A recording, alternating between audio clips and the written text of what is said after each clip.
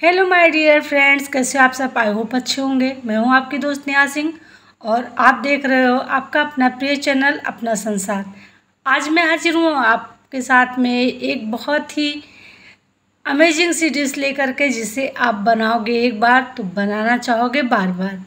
जैसा कि आप सामने देख रहे हो, मैंने मखाना लिया है एक कटोरी और इसमें लिया है एक छोटी सी कटोरी में दूध।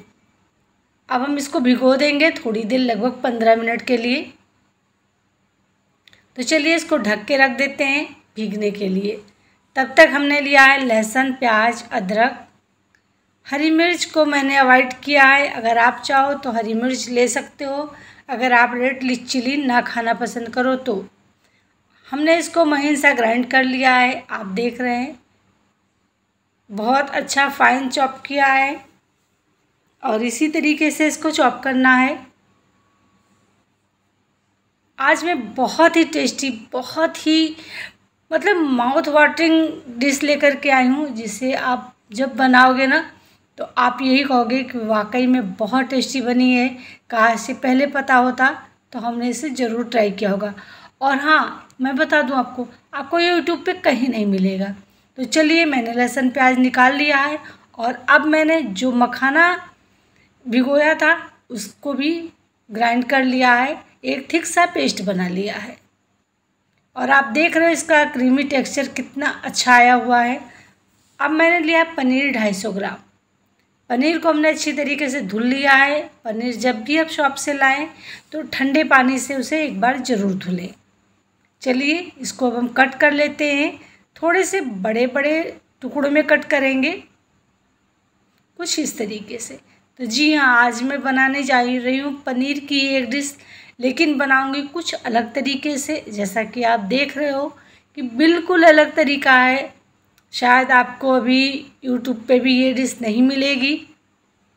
तो बस इस तरीके से मैंने बड़े बड़े टुकड़े में कट कर लिया है। चलिए, आगे का प्रोसेस शुरू करते हैं। हमने लिए हैं मसाले और मसाले में ले रहे हैं। लहसुन प्याज में मिलाएँगे। धनिया पाउडर लगभग दो चम्मच लाल मिर्ची। जी हाँ आज मैं रेड चिली यूज़ करूँगी। गरम मसाला और हल्दी पाउडर।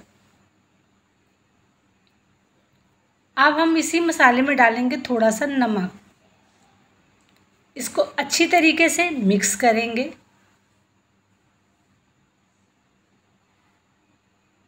अच्छी तरीके से मिक्स करना है ताकि नमक अच्छी तरीके से पूरे मसाले में मिल जाए और लहसुन, प्याज, अदरक में मसाला पूरी तरीके से लिपट जाए, बिल्कुल इस तरीके से जैसे हमने लहसुन, प्याज को मसाले के साथ में पीसा हो। इस तरीके से इसको मिलना है।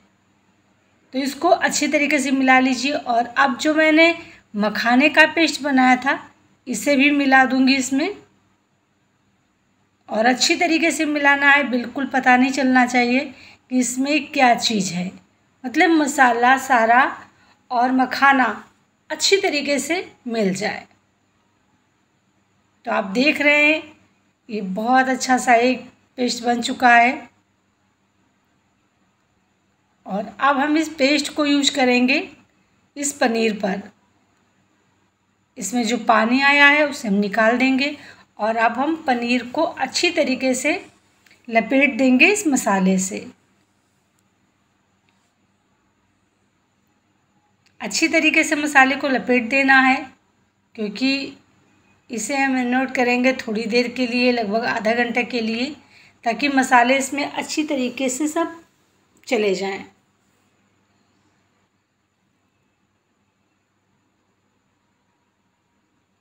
थोड़ा थोड़ा लगाते हुए मसाले को अच्छी तरीके से लपेटेंगे।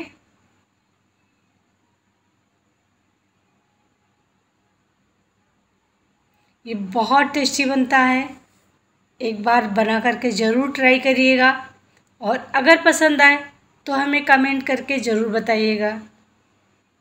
तो जैसा कि आप देख रहे हो, मैंने अच्छी तरीके से लपेट दिया है। अब मैं इसे रख दूँगी आधे घंटे के लिए।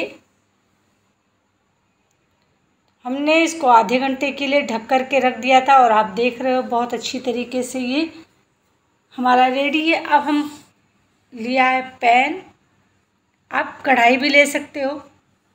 और मैं डालू इसमें मस्टर्ड ऑयल पैन हमारा गर्म हो चुका था। मस्टर्ड ऑयल भी थोड़ा सा ही डालना है, बहुत ज़्यादा तेल यूज़ नहीं करना है।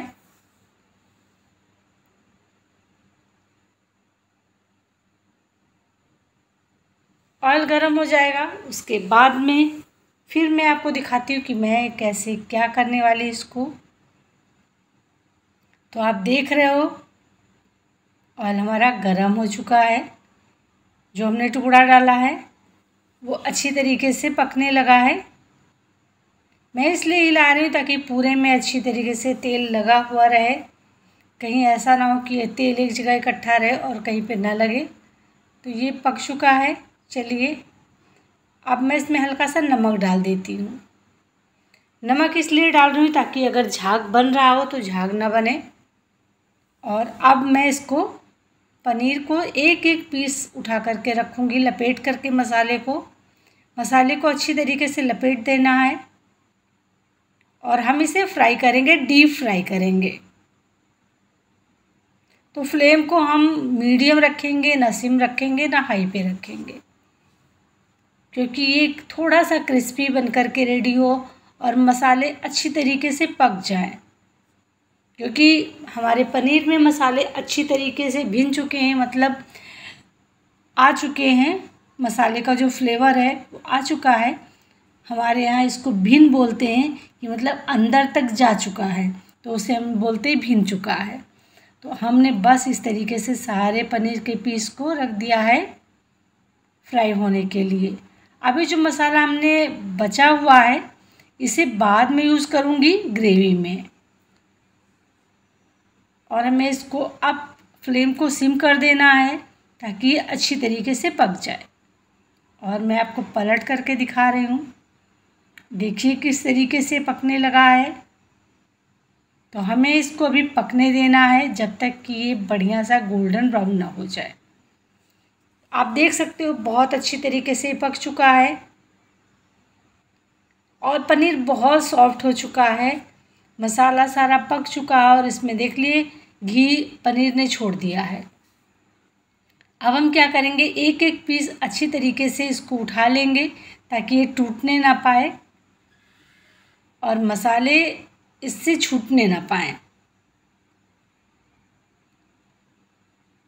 इस तरीके से सारा उठा लेंगे एक एक करके। अगर आप चाहो तो इसे स्नैक्स के रूप में खा सकते हो, लेकिन मैं इसे सब्ज़ी बनाऊँगी, ग्रेवी वाली बनाऊँगी। तो मैंने जो मसाले बचे हुए थे, उसके साथ में पानी डाल दिया है पकने के लिए। अच्छी तरीके से हिला करके उसको मैं मसाले को पानी में मिक्स मिक्स कर दूँगी। और आप देख रहे हो का, इसका जो क्रीम, क्रीमी टेक्सचर है, कितना अच्छा आया है। तो मैंने पानी थोड़ा सा और ऐड कर दिया है, और जो मसाले रखे थे, उसे भी इसमें डाल दिया है। अब हम इसे पकने देंगे लगभग चार से पाँच मिनट। हमारा चार से पाँच मिनट हो चुका है और आप देख रहे हो कितना बढ़िया हमारा ग्रेवी तैयार हो गई है। तो अब हम इसमें डाल देंगे अपने पनीर के पीसेस। अब हम इसको पकने देंगे लगभग दो से तीन मिनट। बहुत ज़्यादा नहीं पकाना है क्योंकि हमारी ग्रेवी पक चुकी है। हमारा पनीर पहले से पका हुआ था। तो बस रेडी है आपकी ये डिश कैसी लगी? कमेंट करके ज़रूर बताइएगा।